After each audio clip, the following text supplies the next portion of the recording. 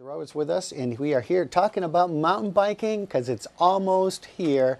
And uh, I know that there's going to be a uh, volunteer trail uh, day coming up, and also um, you're looking for some volunteers. Tell us, tell us what you need. We'll, we'll, we'll recruit some people here. Yeah, so you know the whole mountain bike scene here is essentially on the backs of uh, generous volunteers. Uh, that's trail construction, um, cleanup days, and, and also the bike race. So uh, this year, the bike race, as always, we have phenomenal volunteers. That, whole event is is you know grassroots volunteers But you need a lot. and we need a lot. And I suspect this year, with you know extra uh, people, you know more races coming in, we'll need even more volunteers. Um, the same thing goes with the local uh, NEMBA chapter um, trail day. I believe there's a trail day in, in May around the 20th. Um, that's kind of a, a spring cleanup event. If the snow's gone. Yeah, if the snow's gone. Um, so that's always, you know, plenty of volunteers. Without volunteers, it doesn't happen. There, uh, details for it would be on uh, on the Facebook page and also on our website. So always, always looking for uh, some people that are willing to, to, to work hard for uh, no pay. Work hard for no pay. So, do, is there a skill set involved in that, or you, can you you can pretty much train anyone or give them a position?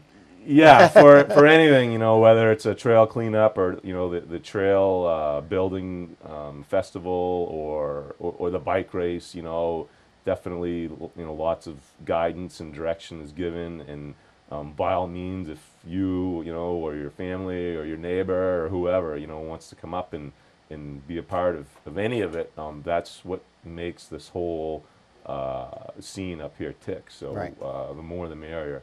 Can never have too many. NEMBA really works hard up here. You guys have, it seems like that is an organization that is just, the Carrabassett uh, chapter here is really dedicated.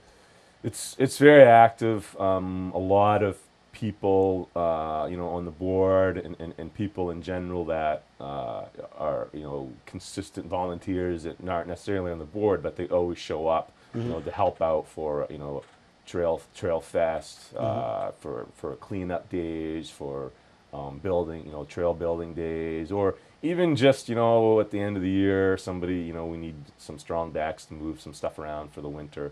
Um, yeah, people are very uh, eager to, to, to help, and, and there's definitely uh, you know a lot of positive attitudes out there. And you can check out the website, find out lots, because that thing has got a lot of great information. Yeah, and the, the website's just been redone, so definitely Yeah. check it out. And we're talking about the big race that's coming up. Let's do a recap of when the date is and um, how they can uh, participate. Who do they contact in order to do some volunteering? So the race uh, Saturday, July fifteenth. Um, o- on the volunteer side, you know, we need people ahead of time. Usually, they do a uh, volunteer, uh, you know, trail prep cleanup uh, the weekend before, maybe even the two weekends before. That's usually headed up by Josh.